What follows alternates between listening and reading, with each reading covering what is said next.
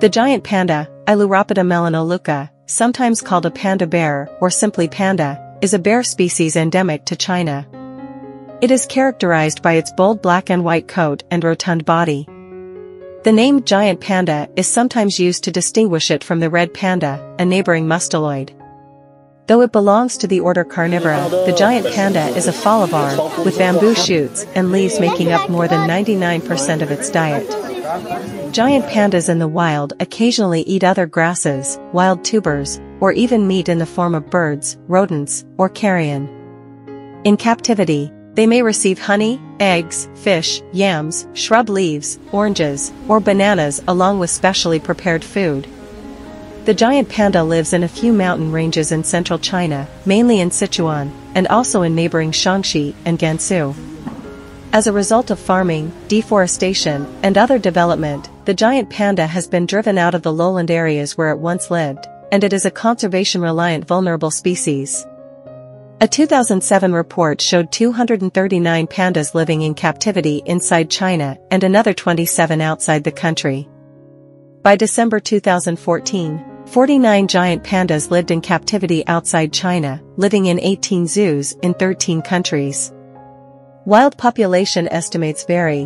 One estimate shows that there are about 1,590 individuals living in the wild, while a 2006 study via DNA analysis estimated that this figure could be as high as 2,000 to 3,000. Some reports also show that the number of giant pandas in the wild is on the rise. By March 2015, the wild giant panda population had increased to 1,864 individuals. In 2016, it was reclassified on the IUCN Red List from endangered to vulnerable, affirming decade-long efforts to save the panda. In July 2021, Chinese authorities also reclassified the giant panda as vulnerable.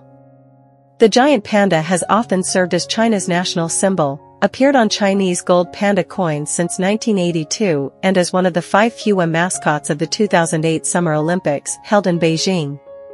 Taxonomy Classification For many decades, the precise taxonomic classification of the giant panda was under debate because it shares characteristics with both bears and raccoons. However in 1985, molecular studies indicate the giant panda is a true bear, part of the family Ursidae. These studies show it diverged about 19 million years ago from the common ancestor of the Ursidae. It is the most basal member of this family and equidistant from all other extant bear species. The giant panda has been referred to as a living fossil. Etymology The word panda was borrowed into English from French, but no conclusive explanation of the origin of the French word panda has been found. The closest candidate is the Nepali word ponya, possibly referring to the adapted wrist bone of the red panda, which is native to Nepal. In many older sources, the name panda or common panda refers to the red panda, Ailurus fulgens, comma, which was described some 40 years earlier and over that period was the only animal known as a panda. This necessitated the use of giant and lesser-slash-red prefixes to differentiate the species. Even in 2013, the Encyclopaedia Britannica still used giant panda or panda bear for the bear, and simply panda for the red panda. Since the earliest collection of Chinese writings, the Chinese language has given the bear many different names, including ma, ancient Chinese name for giant panda, huaxiong, spotted bear, and zhuxiong, bamboo bear. The most popular names in China today are daxiongmao, lit. Giant bear cat, or simply xiongmao, lit. Bear cat.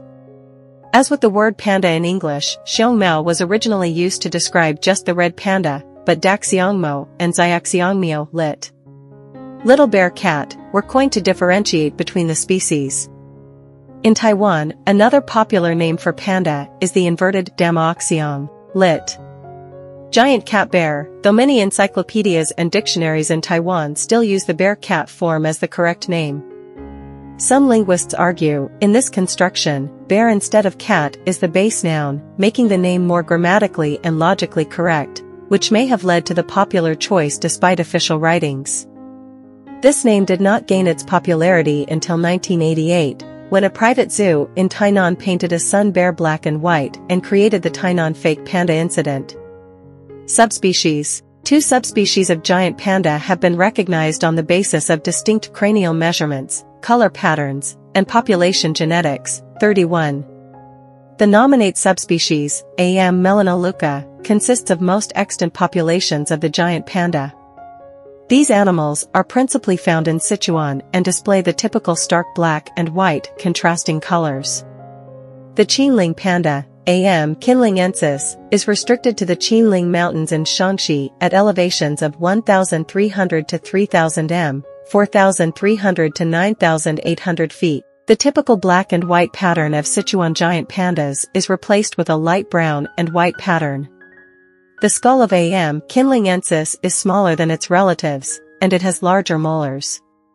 A detailed study of the giant panda's genetic history from 2012 confirms that the separation of the Qinling population occurred about 300,000 years ago, and reveals that the non-Qinling population further diverged into two groups, named the Minshan and the Qianlaidaxianglingxiaxianglingliangshan group respectively, about 2,800 years ago. Panda diplomacy is the practice of sending giant pandas from China to other countries as a tool of diplomacy. From 1941 to 1984, the Chinese government gifted pandas to other countries. Since 1984, they have been leased rather than gifted due to a PRC policy change.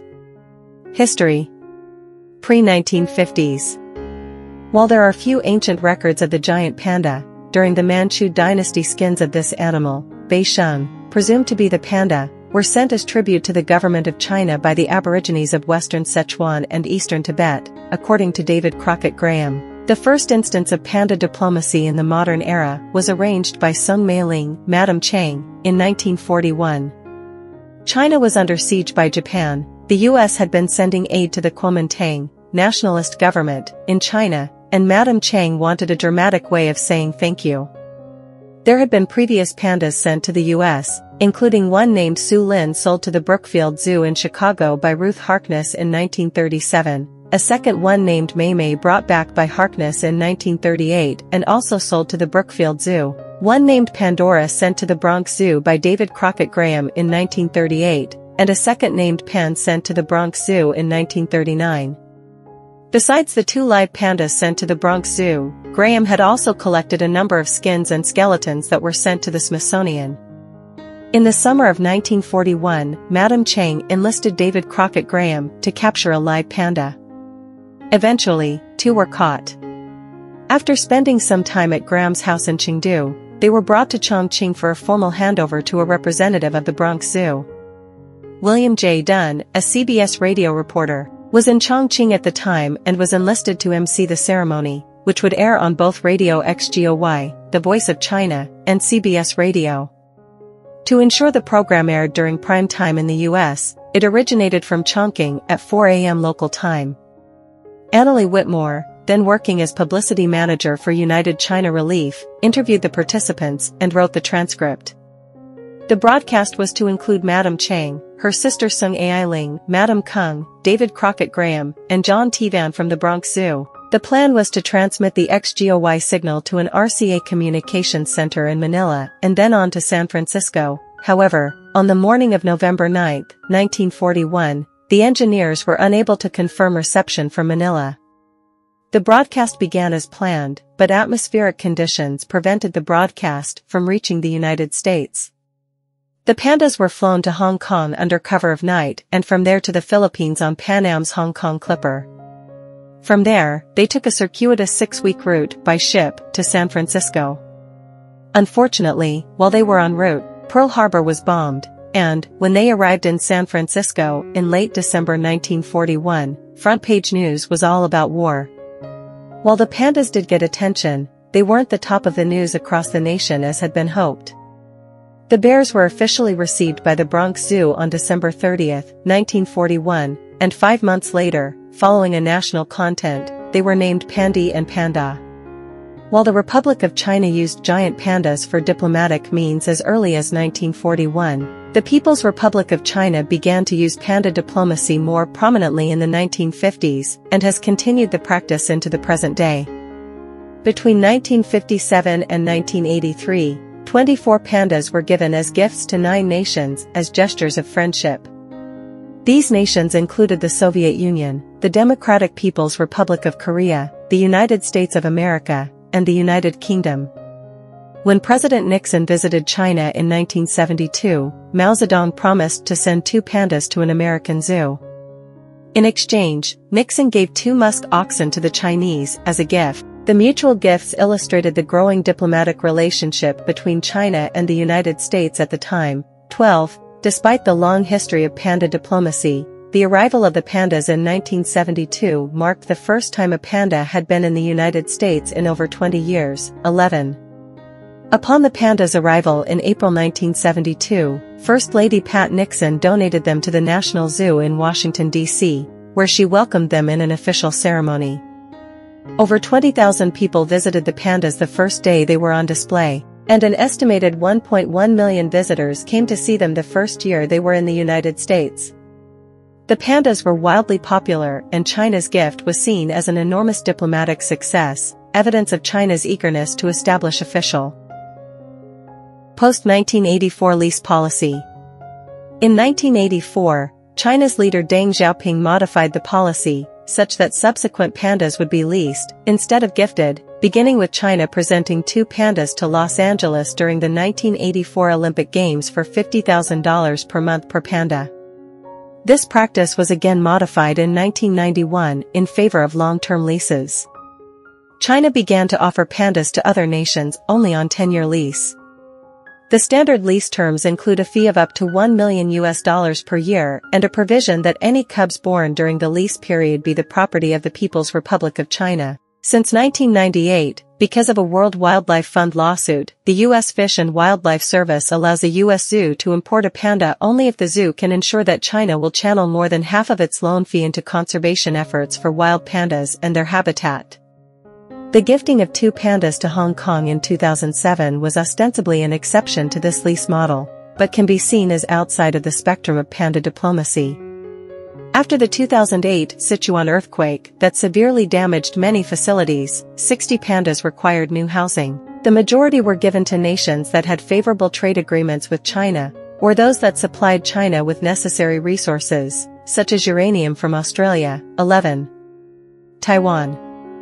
In 2005, Lien Chan, chairman of the Kuomintang, the then opposition party in Taiwan, visited mainland China.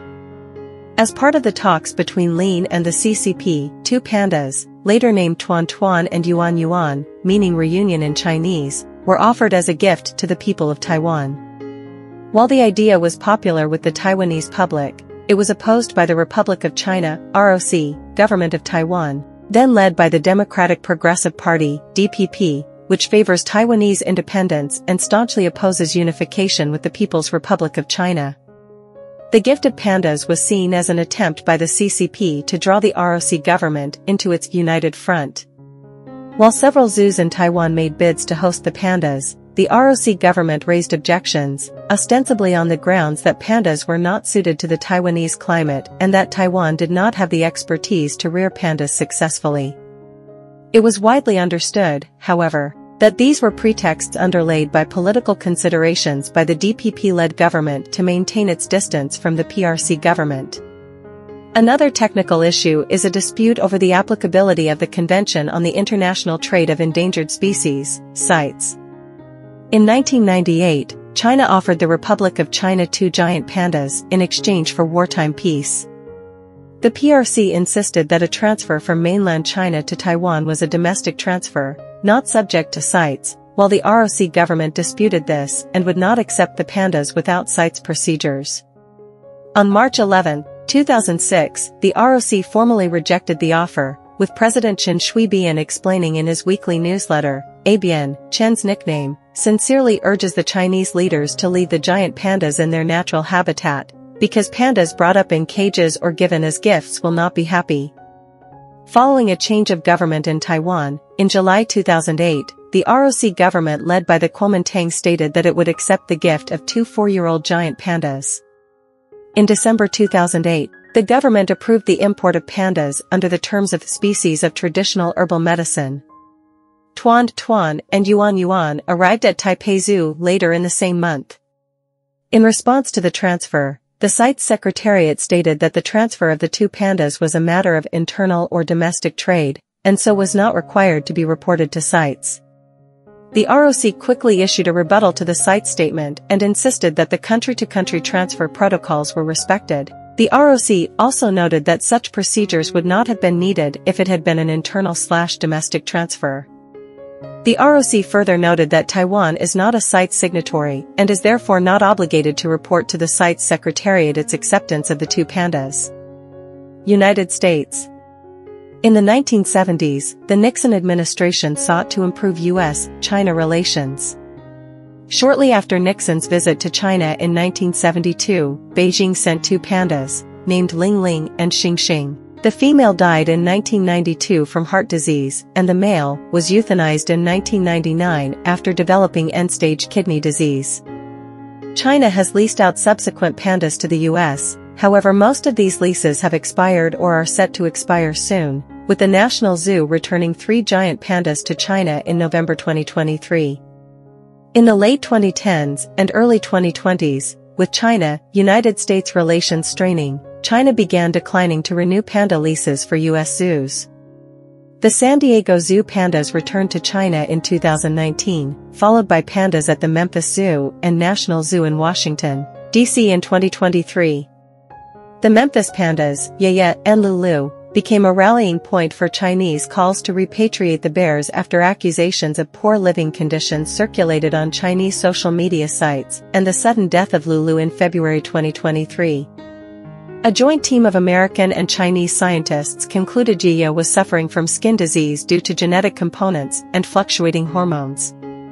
The Zoo Atlanta pandas, the last giant pandas remaining in the United States, are scheduled to return to China in late 2024. Scholars, including Johns Hopkins University political economist Ho-Fung Hung, have questioned whether a deterioration in U.S.-China relations starting in the late 2010s brought an end to panda diplomacy between the two countries. In a 2023 Washington Post opinion piece, Lonnie G. Bunch III and Ellen Stofan, Secretary and Undersecretary, respectively, of the Smithsonian Institution, called the return of the National Zoo's pandas a lesson in cultural diplomacy.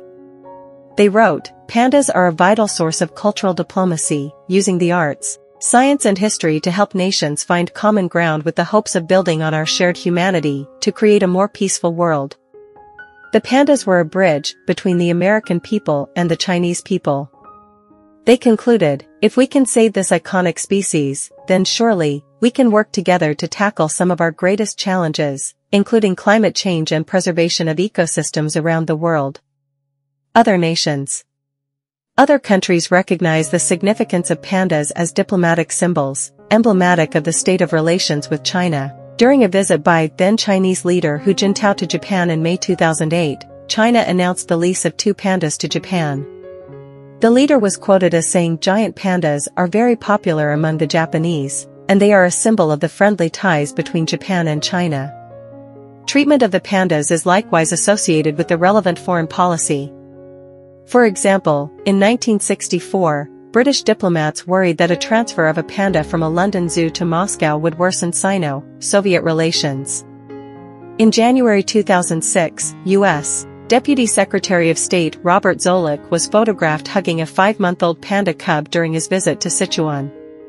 The image was widely broadcast by the Chinese media and was purportedly interpreted as a sign that Zoellick supported better relations between China and the United States. On April 16, 2014, China planned to send a pair of pandas named Fu Wa and Feng Yi to Malaysia to mark their 40-year diplomatic ties, but were postponed following the MH370 tragedy. The two pandas later arrived at Kuala Lumpur International Airport on May 21, 2014, and were placed at the National Zoo of Malaysia. In 2018, Finland agreed to care for two giant pandas following their endorsement of the One China policy. Two pandas, Kai Tao and Hu Chun, arrived in Jakarta in 2017 to be placed in Taman Safari in Bogor as part of the 60th anniversary celebrations of China-Indonesia relations. The most recent panda lease was on June 5, 2019. When Chinese Communist Party, CCP, General Secretary Xi Jinping leased two giant pandas to Russia's Moscow Zoo on an official state visit as a sign of respect and trust. The pandas include a two-year-old male Ru Yi and a one-year-old female Ding Ding. In December 2023, the only giant pandas in the UK were sent back to China. Practicalities Keeping pandas is very expensive. Beside the cost of the rent payable to China, obtaining enough bamboo is very expensive. A panda typically consumes only fresh bamboo, eating 40 kilograms 88 pounds of it every day. It was reported in 2011 that Edinburgh Zoo spent $107,000 per year to feed its two pandas. This caused the zoo to ask for bamboo donations, as well as for local gardeners to start growing bamboo. During the COVID-19 pandemic, the supply of bamboo added to cost considerations. Owing to the difficulty of securing a consistent and adequate supply of fresh bamboo, Calgary Zoo opted to return their pair of pandas ahead of schedule, to join their progeny back in China. Copenhagen Zoo opened a panda enclosure in 2019 for two pandas on lease from China for 15 years with the price tag of $1 million annually. The enclosure itself cost $24 million, though it was privately funded. In 2003, China sent Thailand a pair of pandas, Chuang Chuang and Lin Hui, to Chiang Mai Zoo. Chuang Chuang was put on a diet in 2007 due to obesity and died in September 2019 as a result of heart failure.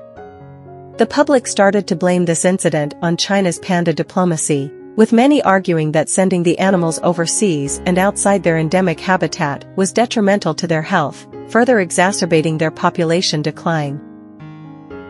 Thank you for watching the video remember to click like and follow to receive other good videos.